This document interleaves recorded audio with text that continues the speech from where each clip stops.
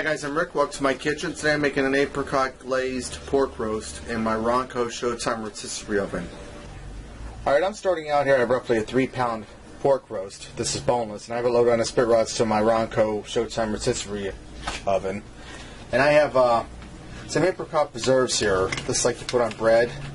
This is roughly about a half a cup. I put it in the microwave and I warmed it up to make it more uh, runny, so it'll spread on it smoother.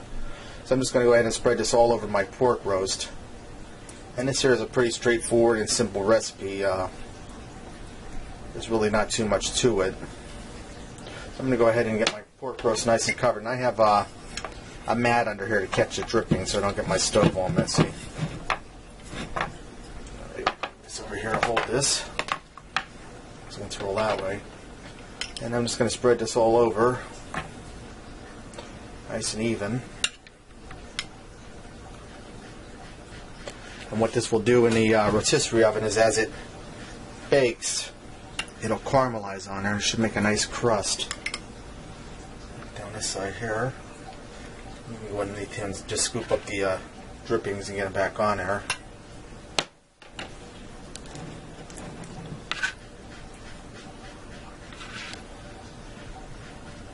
Alright. I'm just going to add some rosemary on this. And that's all I'm going to season this with.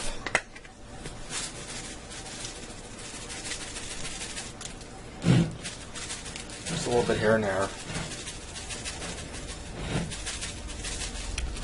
Okay, that should be good.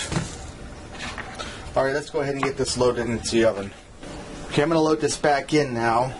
And I have a uh, piece of foil on the bottom of my oven here to catch the worst of that there uh, apricot preserves so it doesn't make a total mess of my oven for easier cleanup. Alright, now I have my roast in. I'm going to set this for a half hour because this isn't a very big roast. Then in a half hour I'll check it with the meat thermometer for temperature. And then we'll be back. So I'm going to go ahead and plug this in.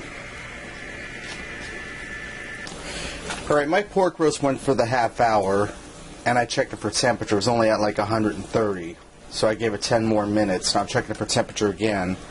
And when I checked it at the half hour point, I went with more of that apricot preserves and I glazed it some more. So I have the thermometer in here checking the temperature. And the beauty of this foil on the bottom is when I'm done cooking, just pull that out, throw it in the trash. The oven's clean other than the spit rod. So let's check the temperature on that. Now that says 135, but I have a feeling it's higher than that. Let's go down in there deep.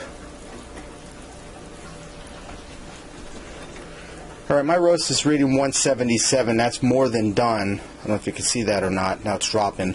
I'm going to get that out of there. I'm going to let it rest for about 10 minutes and then we'll cut into it.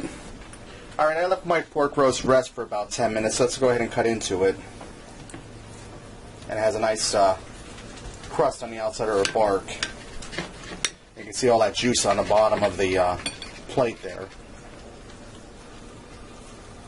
And it looks nice and juicy and has a sweet smell to it. Alright, let's go ahead and uh, fix up a plate and see what we got. I also went ahead and I made some fried potatoes and some peas for on the side. So there you have it. Apricot glazed pork roast in my Ronco Showtime rotisserie oven. Give this a try. I think you'll like it. And until next time, I'll see you.